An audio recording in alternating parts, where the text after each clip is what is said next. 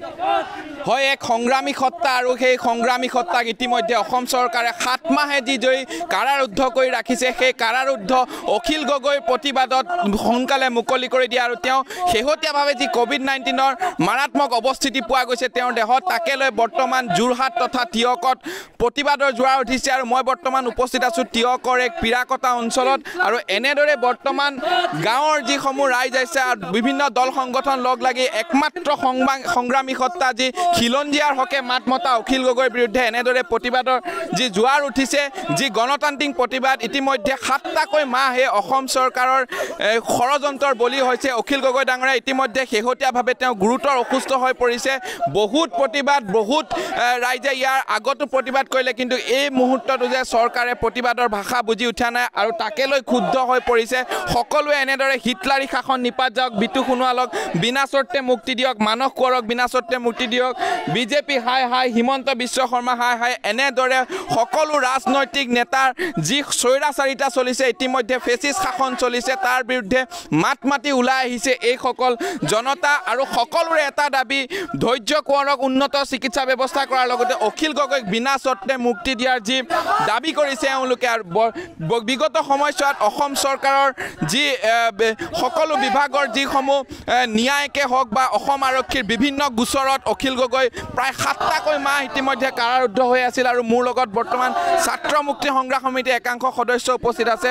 ইতিমধ্যে সম্পূৰ্ণ বিষয়টো এটা মেৰ পাকত এবাৰ ক'ভিড নাইণ্টিন পজিটিভ এবাৰ নিগেটিভ। চৰকাৰৰ চে- স্বৈৰাচাৰিতাৰ প্ৰমাণ পোৱা গৈছে। ন্যূনতম সুবিধাকণো পোৱা নাই চিকিৎসাৰ ক্ষেত্ৰত। সেইটোৱে আমি যোৱা পৰহিৰ পৰা দেখি আহিছোঁ যে অখিল গগৈৰ ৰিপৰ্টক লৈ খেলি মেলি দেখুৱাই আছে। প্ৰথমতে নিগেটিভ কয় তাৰপিছত আকৌ পজিটিভ কয়। তাৰপিছত যোৱাকালি দিল্লীৰ পৰা নিগেটিভ অহাৰ পাছত পুনৰবাৰ গধূলি কোৱা হ'ল যে তেওঁৰ ৰিপৰ্ট পজিটিভ। গতিকে তেওঁক পজিটিভ বুলি কোৱাৰ পাছতো পাঁচ বজাতে যিহেতু তেওঁক কোৱা হ'ল যে পজিটিভ কিন্তু পাঁচ বজাৰ পৰা তেওঁক বহাই থৈ দিয়া হ'ল। নিশা বাৰ বজাতে তেওঁক জি এম চি এছত ভৰ্তি কৰা হৈছে। গতিকে দেখা পাইছোঁ যে আমি চৰকাৰখনে অখিল গগৈৰ চিকিৎসাক লৈ তেওঁলোকে যি ধৰণেৰে হেতালি খেলিছে অখিল গগৈৰ মুক্তিৰ দাবী যিধৰণে অসমত চলিছে সেই দাবীসমূহ তেওঁলোকে আওকাণ কৰি কেৱল মাত্ৰ অখিল গগৈক তেওঁলোকে হত্যা কৰাৰ ষড়যন্ত্ৰ কৰিছে। তেওঁলোকে মাত্ৰ অখিল গগৈক তেওঁলোকে উন্নত চিকিৎসাৰ কোনো ধৰণৰ ব্যৱস্থা কৰা নাই। তেওঁলোকে মাত্ৰ অখিল গগৈক লৈ ৰাজনীতি কৰিব বিচাৰিছে। যি সময়ত অখিল গগৈৰ সতীৰ্থ বিতু সোণোৱালৰ ধৈৰ্য কোঁৱৰ যি সময়ত অখিল গগৈৰ একেলগে থকা অখিল গগৈৰ সতীৰ্থসকল যি সময়ত তেওঁলোকৰ অভিধৰ পজিটিভ বুলি কোৱা হ'ল তাৰ পৰৱৰ্তী সময়ত কিন্তু অখিল গগৈ একেলগে থকা একে সময়তে একেলগে টেষ্ট মানে ৰিপৰ্ট লোৱা একেধৰণৰ হেৰি নমুনা কিন্তু সংগ্ৰহ কৰিবলৈ পজিটিভ বুলি ক'বলৈ বহুত দিন লাগিলে।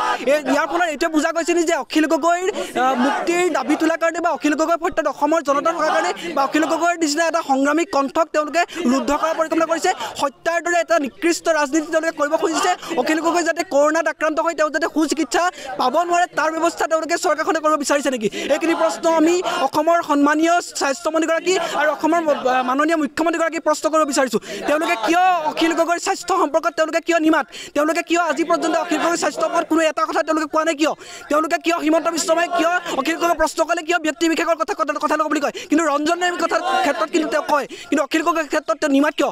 এইবোৰে স্পষ্ট কৰিছে অখিল গগৈ তেওঁলোকে হত্যা কৰাৰ ষড়যন্ত্ৰ কৰিছে। ইতিমধ্যে চৰকাৰৰ যি স্বৈৰাচাৰিতা যি ফেচিষ্ট শাসন ইতিমধ্যে উদঙাই দিছে যি সময়ত ৰঞ্জন দৈমাৰীৰ দৰে একালৰ যি দুৰ্ধৰ্ষ নেতা যি হত্যাকাৰী ইতিমধ্যে মুক্ত আকাশৰ তলত বিগত বহু বিগত সময়তো আহিছিলে কিন্তু সমান্তৰালভাৱে অখিল গগৈৰ চিকিৎসালয় যি চৰকাৰে ৰাজনীতি কৰা বুলি ইতিমধ্যে অভিযোগ উঠিছে আৰু মোৰ লগত বহুত সদস্য উপস্থিত আছে বৰ্তমান গোটেই বিষয়টো চৰকাৰৰ পৃষ্ঠপোষকতাতে হৈছে। ছাত্ৰ মুক্তি সংগ্ৰাম সমিতিৰ তৰফৰ পৰা তোমালোকে এই সময় ৰাইজক কি আহ্বান জনাবা?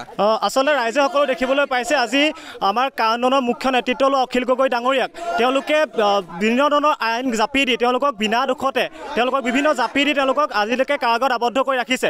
প্ৰায় দুশ দিন আবদ্ধ কৰি ৰাখিছে আৰু আমি জানিবলৈ পাইছোঁ যে কাৰাগাৰ কৰ্তৃপক্ষক কোনো ধৰণৰ কাৰাগাৰৰ বাহিৰৰ ব্যক্তিক সোমাবলৈ দিয়া নাই। তেনেকুৱা এটা মুহূৰ্তত কেনেকৈ কাৰাগাৰৰ ভিতৰত অখিল গগৈ দেহত কৰোণা লাগিল সেইটো আজি অসমীয়া সচেতন মহলৰ ওচৰত এটা ডাঙৰ প্ৰশ্ন।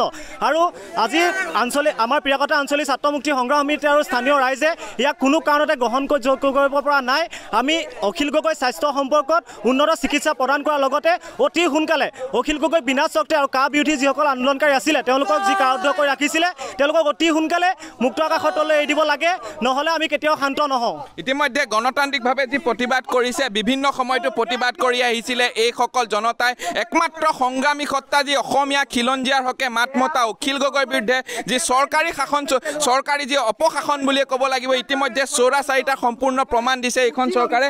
এনেদৰে এইসমূহ যি অঞ্চল আছিল তিয়কৰ যি লোক লখুৰাখনস্থিত যি চেলেংহাটৰ নিকটৱৰ্তী অঞ্চলৰ এনেদৰে অখিল গগৈ মুক্তিৰ বাবে তেওঁলোকে ওলাই আহিছে। যিহেতু ইতিমধ্যে তেওঁৰ মাতৃ শাৰীৰিকভাৱে অসুস্থ আমি বিভিন্ন সময়ত মাই নিজনী দৰ্শকসকলক পোনপটীয়াভাৱে জনাইছিলোঁ যে এগৰাকী মাতৃৰ বুকুৰ পৰা প্ৰায় সাতটা মাহে যি বিৰহৰ বেদনা সম্পূৰ্ণভাৱে যি অখিল গগৈক তেওঁক লগ কৰিব দিয়া নাই ইভেন তেওঁৰ আহ, সহ ধৰ্মীকৈ লগ কৰিবলৈ দিয়া হোৱা নাছিল। মোৰ লগত কিছু মহিলা উপস্থিত আছে আইতা উপস্থিত আছে।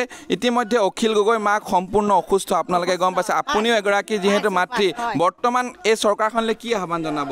কি আহ্বান জনাম? আমি ভাল হেৰিটোহে জানো আৰু। ভাল হওক যাতে তেওঁ তেওঁ আগলৈকে এতিয়া মাকক দেখা দিয়ক ভাল হৈ যাতে আমি পুত্ৰৰ মাজলৈ লৈ আহোঁ বুকৰ মাজলৈ পুত্ৰক তেনেধৰণে আমি যাতে এতিয়াও আমাক সেই অখিল গগৈক ভাল কৰি দিয়ে যাতে দি মেলি তেওঁক সুস্থ কৰি আমাক আকৌ যাতে এইখন ঘূৰাই পঠিয়ায়। সেইটোকে আমি আহ্বান জনাওঁ। ইতিমধ্যে আৰু মোৰ লগত উপস্থিত আছে আৰু এগৰাকী মহিলা। এতিয়া যিসমূহ অখিলৰ যিজন পুত্ৰ আছে যিগৰাকী সহধৰ্মিনী আছে তেওঁলোককো সামান্য যিটো ন্যূনতম অধিকাৰ হিচাপে থাকে তেওঁলোকক লগ কৰিবলৈ দিয়া নাই কাৰাগাৰত।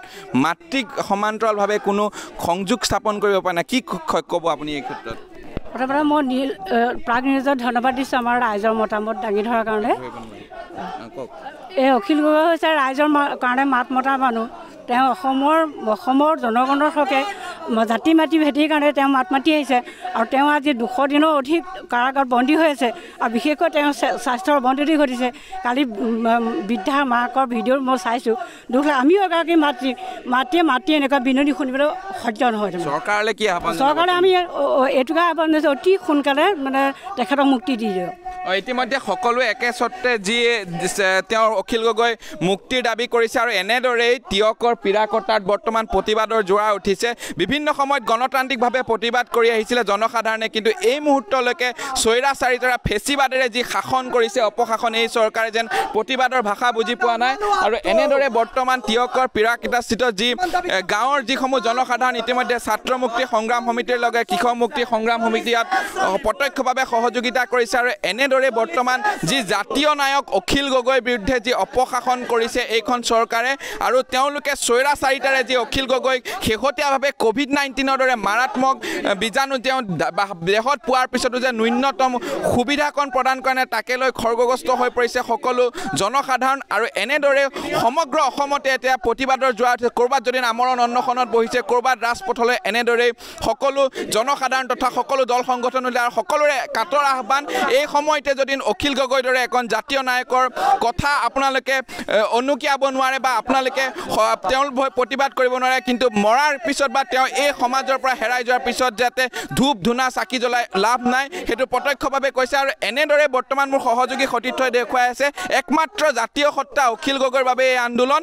আৰু বিভিন্ন সময়ত গণতান্ত্ৰিক আন্দোলন হৈছে কিন্তু এইখন চৰকাৰে গণতান্ত্ৰিক ভাষা বুজি পোৱা নাই কিন্তু তথাপিও হাৰ মনা নাই এইসকলৰ এ, য- যিসকল সাধাৰণ জনতা আছে আৰু এনেদৰে বৰ্তমান তিয়কৰ পীড়াকটাস্থিত যি ৰাজপথত সকলো ওলাই আহিছে একমাত্ৰ অখিল গগৈ মুক্তিৰ দাবীত আৰু অতি সোনকালে অখিল গগৈ চিকিৎসাৰ উপযুক্ত ব্যৱস্থা কৰিব লাগে আৰু বিনা চৰ্তে তেওঁক যি মুকলি কৰি দিবলৈ তাৰে দাবী উঠাইছে পীড়াকটাৰ স্থানীয় জনসাধাৰণে।